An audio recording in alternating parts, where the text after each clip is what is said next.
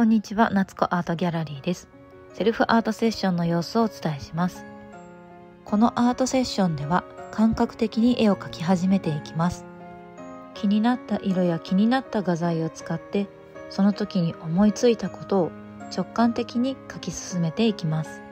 そうやって進めていくと、この感じが好きだなとか、あんなものを描いてみたいという気持ちが生まれてきます。日常の世界ではやりたいなと思ったことを実際にやってみるのは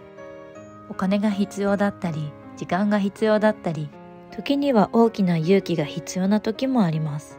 ですが絵の中では比較的簡単にリスクなくやりたいことにチャレンジすることができます。今回の私の場合だと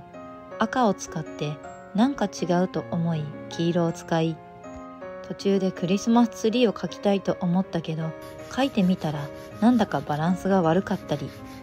背景を水色で塗ってみてもなんか違うから黄色で塗り直してみたり。なんか違うという壁に何度もぶつかりました。ですがそれでも自分の気持ちが一致するまで描き進めていくと初めの方になんか違うと思っていた色や形が後でいい味を出してくることがあります。